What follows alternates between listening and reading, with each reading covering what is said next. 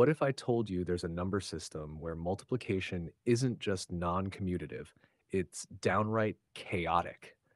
A system where some numbers square to zero and where the order of operations actually changes the result.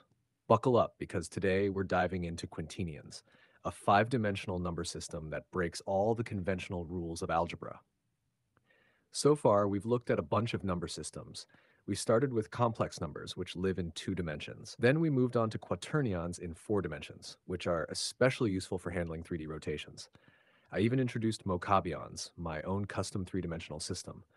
But now we're leveling up with the five-dimensional quintinions. In this system, numbers pick up brand new properties, wild new behaviors, and a whole lot of quirks. So get ready to stretch your imagination. Part 1.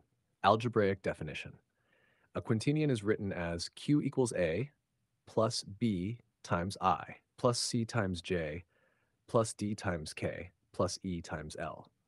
Here, the elements i and j are imaginary units. They satisfy the rules, i squared equals negative 1 and j squared also equals negative 1. But now we bring in two special elements, k and l. These are called nilpotent elements, and that means k squared equals 0 and l squared equals 0. But it gets crazier. The real twist lies in how all these units interact with each other. Their multiplication isn't normal, and that's what makes this system so fascinating. Let's break it down with a multiplication table. Here's how each of the five basis elements multiply with each other.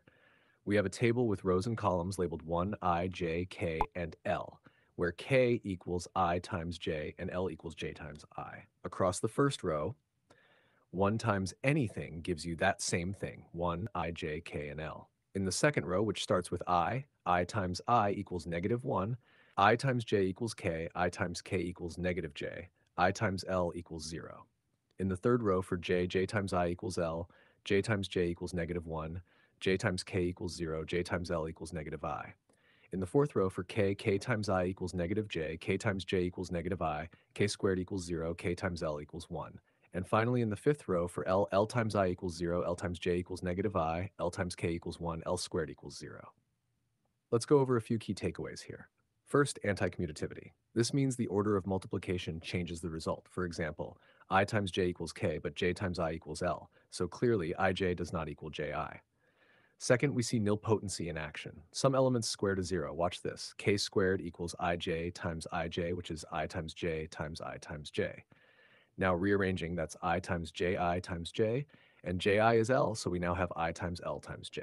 But i times l equals negative k. So now we have negative k times j and k times j equals negative i. So negative k times j equals 0. Therefore, k squared equals 0. So finally, there's non-associativity. That means grouping matters. For example, if you group as i times k and then times j, that gives negative j times j, which equals 1. Uh, but if you group it as i times the result of k times j, that's i times 0, which is 0. Same elements, different groupings, completely different outcomes. Part 2, Matrix Representation. To get a better grip on all this, we can use matrices to represent each of these units. This helps us visualize and compute everything more clearly. The identity element 1 is just the 3 by 3 identity matrix. 1 equals row 1, 1, 0, 0, row 2, 1, 0, row 3, 0, 0, 1. Now i is row 1, 0, 1, 0, row 2, negative 1, 0, 0, row 3, 0, 0. tj is row 1, 0, 0, 1, row 2, 0, t, 0, row 3, negative 1, 0, 0. Now k, which equals ij, is row 1, 0, 0, 0, row 2, row 3, 0, 0, 0. And l, which equals jii, is row 1, 0, 0, 0, row 2, 0, 0, row 3, 0, negative 1, 0.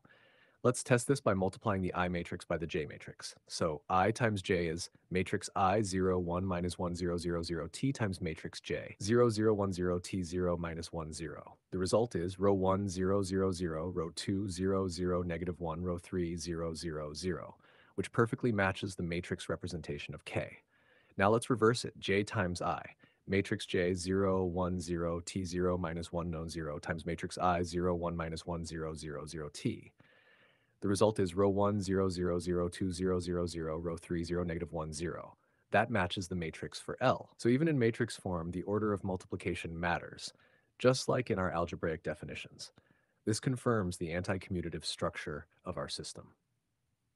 In conclusion, quintinions are wild, five-dimensional numbers with non-commutative, non-associative multiplication and strange nilpotent elements like k and l that square to zero. Now here's the big question. Should we take the leap into Sextinions next, six-dimensional extensions of these wild ideas?